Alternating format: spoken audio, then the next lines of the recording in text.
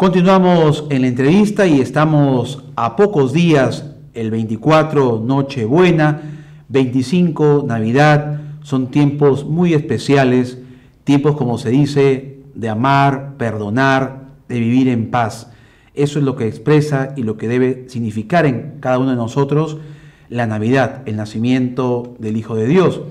Al respecto conversamos en la entrevista con el padre Froilán Tito Guaranca, él es sacerdote de la pastoral universitaria aquí en el campus de la UPA. ¿Cómo está padre Froilán? Bienvenido a la entrevista. Buenas tardes.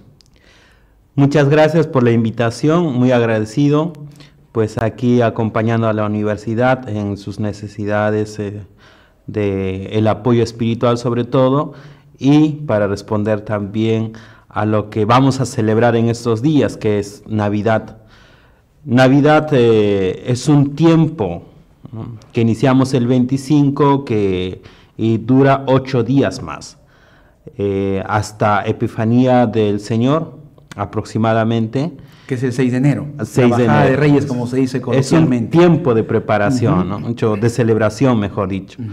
Y, pero también hay previo, que es, la, es el adviento, tiempo de preparación. Nos preparamos para celebrar Navidad de modo especial desde el 17 de diciembre hasta el 24 en la noche. ¿no? Entonces, una celebración preparada, una celebración bien hecha. Por eso es importante centrar nuestra mirada, eh, qué significa para cada uno y para la comunidad eclesial y para la institución eh, la Navidad.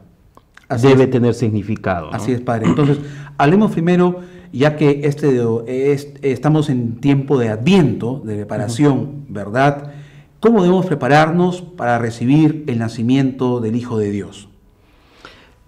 La preparación debe nacer de un deseo del encuentro. Primero el encuentro con el Señor, después con el, encuentro con el prójimo. Eso es importante. Incluso los mandamientos, el mandamiento de Dios está dirigido para Dios y para el prójimo. Siempre esa dinámica va a haber, ¿no?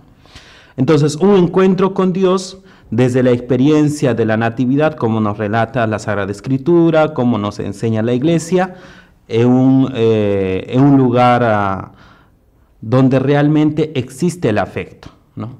Jesús nace donde existe o donde se da una experiencia de amor. Por esto, ¿no? En el nacimiento se colocan las imágenes María, José y el niño Jesús. La Sagrada Familia. La Sagrada Familia. Entonces, esto refleja el afecto, la experiencia de amor de una familia como tal. Esto es el misterio que nos enseña, ¿no? En esa experiencia también vemos cómo Dios ama a la humanidad. José y María nos enseña cómo Dios nos ama y que ellos dan testimonio cómo es el amor de Dios entre ellos, ¿no? en la experiencia de amor.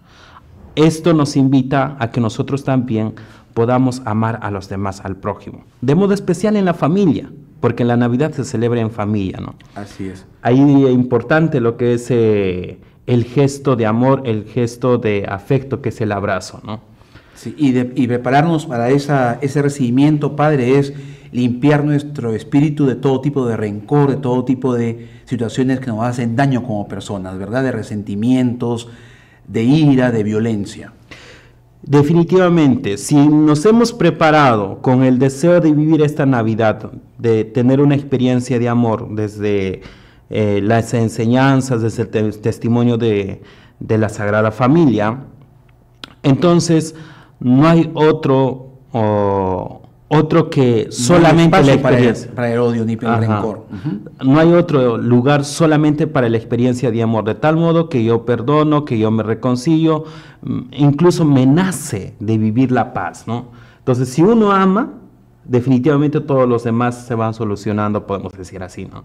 Entonces, eh, importante dar sentido a los gestos de esta celebración, sobre todo del abrazo. En la casa podamos abrazarnos como papá, como familia o donde nos encontremos, donde incluso en el trabajo, ¿no? Saber abrazarnos. Entre compañeros de trabajo, entre amigos. Sin embargo, padre, sabemos que hay un sentido también distorsionado de la Navidad que a veces eh, prevalece sobre el auténtico que es la espiritualidad y que tenemos que, que cambiar esa percepción o esa mala práctica que lo comercial a veces se sobrepone sobre lo espiritual y mucha gente se preocupa por los regalos, la compra, la celebración, las bebidas, la comida.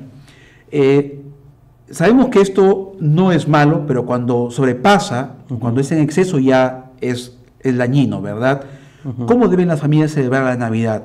¿Cómo enseñar a nuestros hijos desde muy pequeños que no es lo más importante el regalo físico, sino el sentir, como usted dice, en el corazón el nacimiento del Hijo de Dios? Sí, definitivamente, en esta Navidad eh, dar sentido. ¿Qué es lo que yo quiero vivir? ¿Qué experiencia quiero tener? Una experiencia que nunca quiero olvidar, ¿no? Si me centro en los regalos, si me centro en los adornos, como le digo, ¿no? En el maquillaje. Y el material. ajá, y nosotros debemos centrar en, en, el corazón, en lo que significa, ¿no? Entonces, ¿qué es lo mejor que nosotros podemos dar en esta Navidad? Es sobre todo el testimonio, el ejemplo de amor. Si digamos en la Navidad, yo en, la casa hablo de esposos, ¿no? Entre los esposos por el regalo, por la comida, van a empezar a discutir, van a empezar a pelear porque no se ha conseguido, no han comprado todo aquello. Entonces no dan un testimonio de amor. Entonces, ¿qué es lo que ven los hijos? No ven una muestra de amor. Por eso es importante esa muestra de afecto, esforzarse por celebrar muy bien esta, esta vez, ¿no? Esta Navidad, para que después sus hijos puedan aprender puedan conocer el amor, el testimonio, el esfuerzo de los papás. No solamente en, el, en los regalos, en los detalles, ¿no? que es lo secundario, sino sobre todo en la, en la muestra de afecto entre ellos como papás, como, también como los abuelos o quienes estén en la celebración. De esta manera podemos menguar lo que es el, el odio, el rencor, eh, el no saber perdonarse, porque el saber perdonarse nace de saber amar. Yo quiero amar, y para amar a otra persona debo perdonar, debo no olvidar los hechos, sino saber sobrellevar. Entonces creo que es importante volver, ¿no?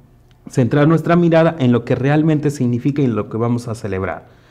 Que nació Jesús mostrándonos el amor y nosotros debemos vivir también amándonos con gestos concretos, como es el compartir, como es el abrazo, como es, son las palabras, y también esto enseña a los hijos. Los, los hijos van a aprender de esto a amar, ¿no? Así es, padre. Finalmente, eh, sin embargo, ¿no? Eh, hablamos de que hay familias o, o, la parte comercial ha tratado de, invadir ese aspecto espiritual que debe identificar a la Navidad, porque Jesús nació en un contexto de mucha humildad, ¿verdad? En un pesebre, ¿no? Entonces, ¿qué simboliza el que el Hijo de Dios, de Dios, haya nacido en un pesebre, padre Froilan? Eh, significa sobre todo la humildad, ¿no? y, y, esta virtud es indispensable para saber amar, porque el humilde eh, reconoce que necesita de, del otro, sobre todo de Dios y del prójimo, ¿no? Y en estas celebraciones también nos damos cuenta que solos no podemos celebrar la Navidad sino siempre con alguien. ¿No? Entonces, prioricemos, ¿no? Eh, lo comercial sí nos ayuda y los que tienen posibilidades podrán adquirir, pero que no, que no esté centrado ahí. Que no sea la prioridad. Ajá, y que, no, que los detalles, los regalos, que no esté marcado o fijado por el precio, sino eh, la importancia de estar con el otro, que yo necesito celebrar con el prójimo, es decir, en este caso en las familias, con mi esposa, con mi esposo, con los hijos, con los abuelos que están en la casa o con quienes se encuentre, porque hay mucha gente que va a pasar en camino, mucha gente que va a pasar en trabajo. En los hospitales, ¿no? por ejemplo, en las comisarías, ¿no? Y estar convencido que como nació Jesús en una situación humilde, sencilla, para mostrarnos su amor, eh, nosotros también al servir, sobre todo las enfermeras, los médicos que van a estar trabajando ese día, saber y estar convencidos que lo hacen con Cristo, con ese, con ese Cristo que nació eh, en un pesebre, en un lugar bastante precaria, en un lugar donde realmente nos esperaba ¿no? que naciera el Mesías. Bien, y esperamos que ese Jesús nazca en nuestro corazón, Padre Froilan, y nos ayude a ser mejores personas, mejores seres humanos y nos ayude a perdonar y a vivir en armonía. Gracias, Padre Froilán Tito Guaranca, eh, sacerdote de la pastoral de la Universidad Privada de Nuevo por estas reflexiones en estos tiempos que ya estamos más cerca de darnos ese abrazo de amor, de reconciliación, de fraternidad en la Navidad. Gracias, Padre. Muchas Así gracias. culmina la presente edición de la entrevista desde este espacio informativo de Vivo Pau Televisión.